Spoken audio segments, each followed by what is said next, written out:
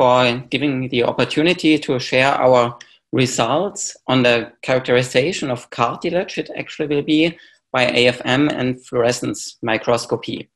The work was mainly done by Mateusz Czajkowski and Sofia Brander under the supervision of Bizan Balzer and myself. But before I come to this main topic, I just want to tell you two things that are also ongoing in my lab so the first is we're doing quite a bit of single molecule force spectroscopy. And a recent study we have done is to attach single polymers, so polyethylene glycol and NIPAM, um, to AFM cantilever tips covalently and to stretch them and to look at the temperature response. And the reason is we wanted to understand what is this um, response, so if you stretch it, dominated by. Yeah, many of you, and we also used a freely jointed chain or worm-like chain fits to fit stretching curves of polymers. You have seen this during the last two days. Um, especially for the freely jointed chain model, this has a, is a clear model of entropic elasticity and um, has therefore a clear temperature dependence. Yeah, so the chain should become harder if you rise the temperature. And this was not the case here. So we saw that the freely jointed chain model is not what describes these polymers. So actually they are, have some enthalpy contributions and um, PEG even has mainly enthalpy contributions.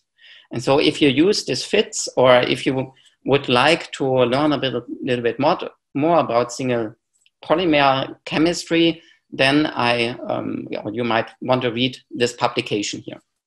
So that's just a short teaser, but I hope um, you get the point here. Yeah, that this fits. You can still use them to compare polymers or so, but they will not describe your polymer um, exactly as the with the underlying model. The second thing is we are doing Kelvin probe force microscopy to investigate triboelectricity. And I hope you already saw this on the poster uh, on Wednesday by um, Ji-Wei Hu. So you probably have then heard about that if you bring two surfaces in contact of the uh, right material and you separate them, then you get a potential between these surfaces and you even could drive the devices by this. And um, this is kind of, yeah, it is studied. Yeah, several materials are tried or so, but uh, it's not understood how this works. What is the underlying process, the molecular process? For example, simple question, are there electrons brought from one uh, surface to the other, or is it material that is transferred? And this is what we would like to understand, and we think that AFM and uh, combined with KPFM is the ideal method, and um, this is what we investigate here. And I'm not sure if you still can access posters from Wednesday, but um, if you can, please have a look at this poster. But now we come to the main topic of this talk, and this is um, cartilage degeneration. And this is a collaboration with Professor Bernd Rolauffs from the University Clinicum in Freiburg. Just a quick reminder, so cartilage is a macromolecular, macromolecular fiber composite. It consists of proteoglycans like um, or hyaluron and of collagen. And there are different zones. So the bone would be down here, it's calcified, and then there's a deep zone and a middle zone, and a tangential and most superficial zone. So this is basically what you would see, yeah, in our case, if you open the knee. And this is what we will focus on because we think, I mean, here the damage starts, and therefore we would like to understand um, what happens here. And at, unfortunately, um, things happen here in many people that you don't like, and it has a name, so it's osteoarthritis. And um, yeah, I cite here a Canadian study. I think it doesn't always have to be the US studies. So one in eight Canadians um, is affected or will be affected. the numbers are not much different for the US and they also will not be much different for Europe. So it's a severe long-term chronic disease. Um, there is no way to cure it and even not really to prolong it because, yeah, one reason is it's not understood. And so um, we have a look at this and try to understand it. So what we get from the clinicum is cartilage, articular cartilage from knees. And um, it's from patients that uh, suffered severely from osteoarthritis. But what you, for example, can see here, so this would be such a, um, a part, but um, here you see severe damage, but there are also parts that are not damaged. And this is basically what we use. So we want to look at the earlier stage of osteoarthritis. Yeah, we expect there is something, and actually there will be uh, something that we can see. So by eye, it looks good. Yeah, and a clinical doctor, yeah, he would probably say, okay, this is fine cartilage, but you will see that we already in this very early stage, we see, um, yeah, several things. So the first one um, has been studied now yeah, for over 10 years. So this is um, what Professor Rolauffs um, did and um, yeah, investigated. So he looked at the cell patterns. Oh, and I forgot to tell you. So the cells in these uh, cartilage, they are called chondrocytes. And um, yeah, so these, and um, he is looking at a chondrocyte pattern up here in this tangential zone. This is what we look at here. And what he noticed is if you have healthy cartilage, then they are arranged in strings, what we call this, yeah, one of the other. Then if osteoarthritis starts to begin, then you get something like double strings. Yeah, here you, so you get um, kind of string and one next to it. And then you get smaller clusters and bigger clusters. And then in the late stage, yeah, you get very diffuse arrangement of cells. And at some point, they all die. And then you, yeah, then it's uh, over. But what we are interested in is this early stage. Yeah, we want to see is this really correlated already with a loss of functionality of this cartilage. And one thing that is has already been correlated with it is a loss in the elastic modulus. Yeah, this prolonged um, osteoarthritis, yeah, the elastic modulus of your cartilage is decreased. And this is something we want to test if this is correlated. And then in addition, in the next step, we want to see um, if the collagen organization, so the organization of this fiber in the cartilage, if this maybe also changes. Yeah, this is then more on the nanoscopic scale. And um, we use there first the AFM. And um, so we use a AFM with a bead of 10 micrometer diameter attached to a cantilever to determine the elastic modulus, or you could also call it an indentation um, modulus. And we use um, very sharp tips and fast force mapping um, to look then at the collagen network. And uh, you see, so this we did um, with the MFP3D and with the Cypher um, from Oxford Instruments, but you will see around the talk that we use all kinds of um, AFMs because each AFM has advantage for one or the other thing. So what do we use to uh, determine the elastic modulus? So we use the Hertz model. Also, the conditions for the Hertz model are not perfectly fulfilled. But we also tried other models, and actually, none of the models fits perfectly. And like with, for example, a freely jointed chain fit, yeah, even though it doesn't completely describe maybe your polymer elasticity, it's still very good to compare elasticities of single polymers. And so for us, the Hertz model is very good here to compare the elastic modulus. Also, the absolute value may maybe have a little larger error. So the conditions here are that it's an isotropic and homogeneous material. We don't have this. Yeah, it's a composite material, but with the large bead, we average, and so it's still okay. It shouldn't be having a hysteresis, no adhesion to apply the Hertz model. We have a little bit of it, but it seems to be okay.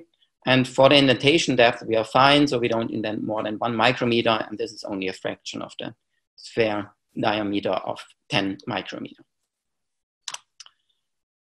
Good. So this is then uh, the result. So this is from eight patients um, that uh, suffer from osteoarthritis. And you see here the modulus from parts where we saw strings and we have double strings or maybe small clusters. And you see that there is a clear correlation, especially in this very early stage, which you wouldn't even see by eye, yeah, that you already see a strong loss in elastic modulus um, of these patients.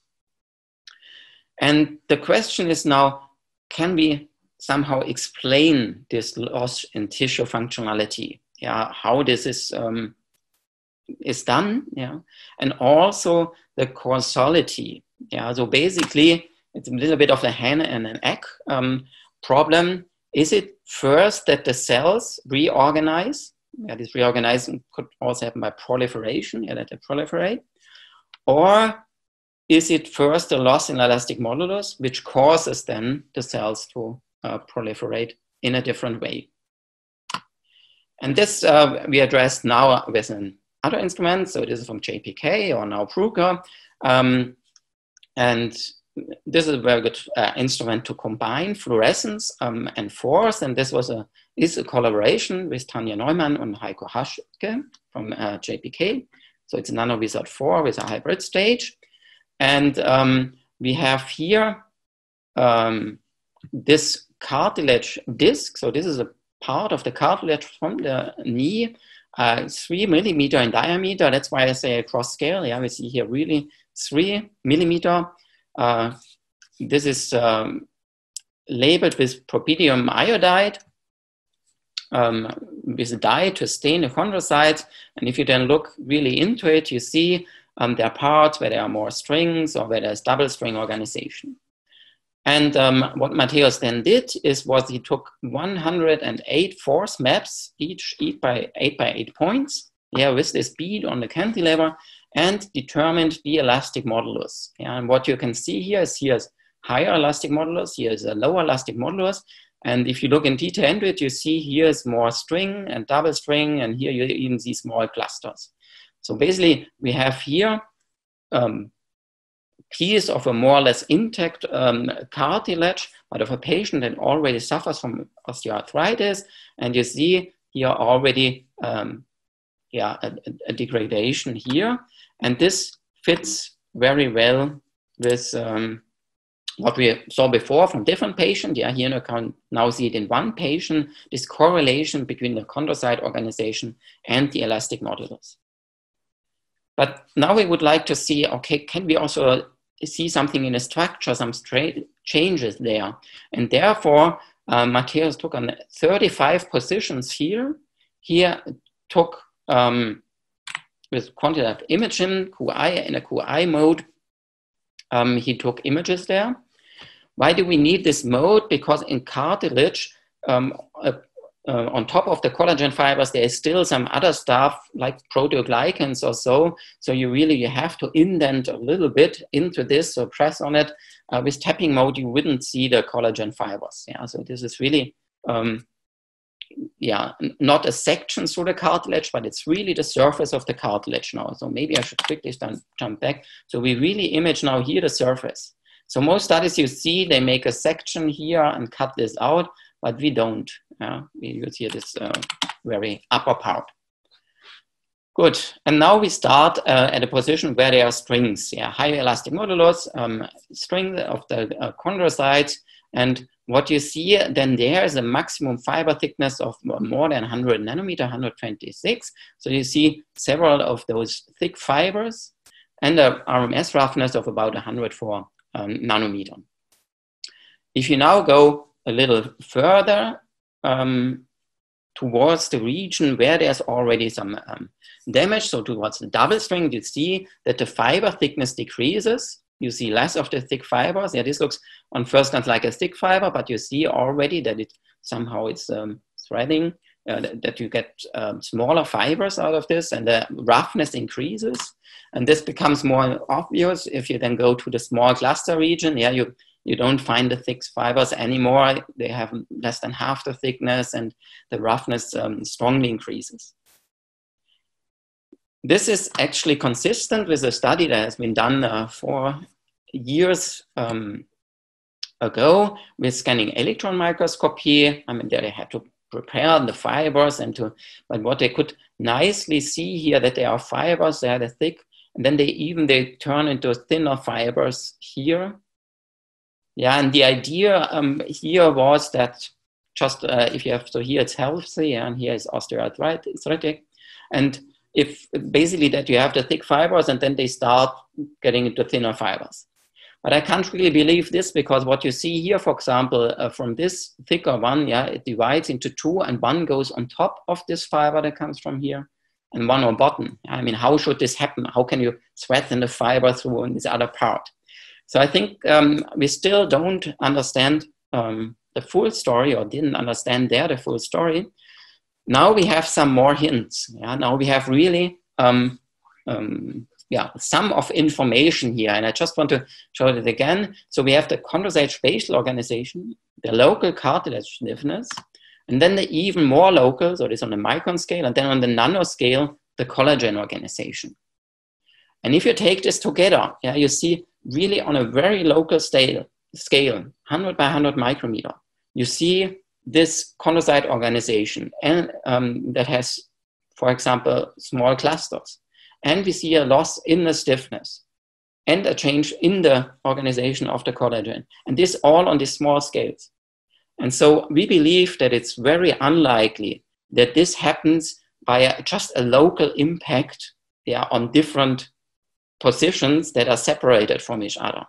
That then would disturb the collagen network and then cause the cells to change their organization. So we think there's a hope to convince you and convince the referees um, that this is really um, um, strong evidence that the first trigger is a change in the chondrocyte um, organization, um, maybe proliferation of the chondrocytes, and this affects then the network and with this the elastic modulus. And um, yeah, before I come to an outlook, I just want to show you this picture and uh, um, want to tell you, I mean, this is really undissected cartilage, yeah, no section, um, under native conditions. And for the experts, you can see here the D-banding, yeah, this uh, structure perpendicular to this collagen fibers, what people have until now only seen in um, prepared uh, purified cartilage samples uh, on solid substrates. Good. Um, now a quick outlook. So we want to understand now the better the underlying mechanism. Yeah, why is there this change of the um, organization of the collagen network of the um, chondrocytes? So we, for example, want to see if there is a change in the type of collagens, kind of antibodies, um, is there a change in the composition of other extracellular matrix components? So there are several other um, proteins involved in this collagen fibers, for example, decorin or biglycan are candidates here. Um, are there, is there a change in the growth factors of the cells? Um, there's also some ideas about changes in osmotic pressure. So yeah, there's still a lot of open questions um, which we like to address. But I think uh, AFM in combination with fluorescence is a, a, great tool to understand the fundamentals of, um, of osteoarthritis. In addition to these fundamentals, um, it also has some clinical relevance because uh, there might be a possible application of looking at these cell patterns. And this is, um, you could use standard uh, endomicroscopes that you use for endomicroscopy to look at these cell patterns. And um, this is what I want to show you here.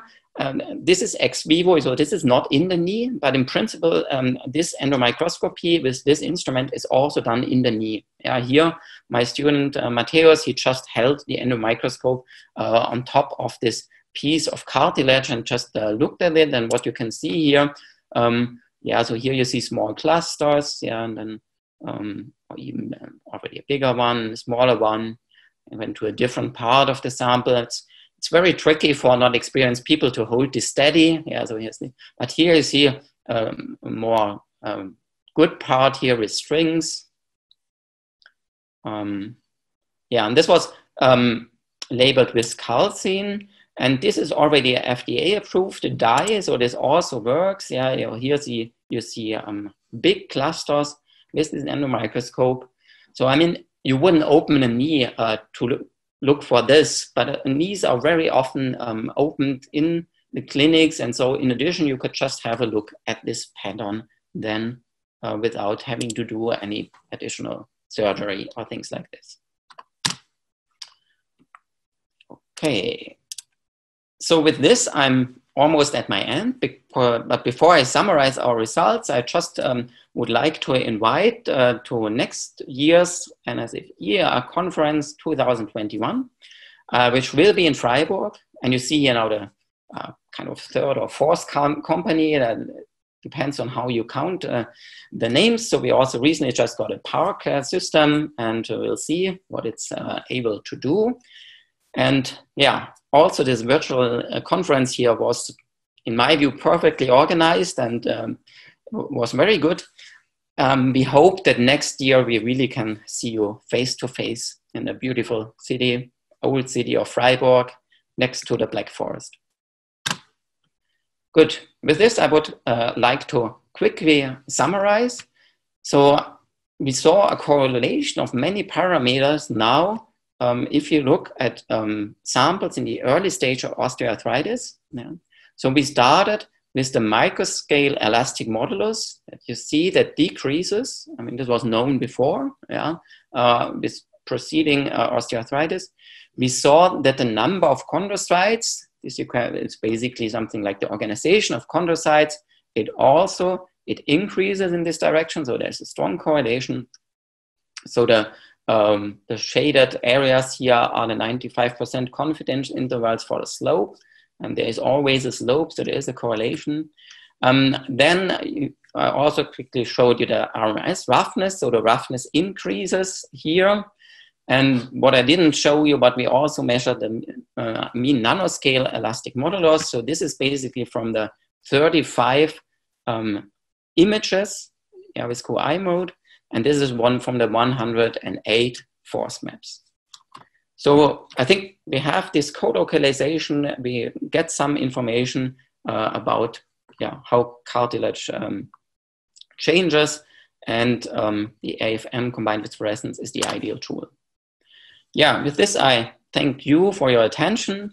These institutions here for funding and yeah, Mateusz Czajkowski, who did most of this work, uh, Bizan Balzer, supervising Professor Bernd uh, Rolauffs as a collaborator, Sophia Brander did some of the early experiments, yeah, Qibei Hu and Adriana Kohlberg um, worked on the two things I mentioned at the very beginning.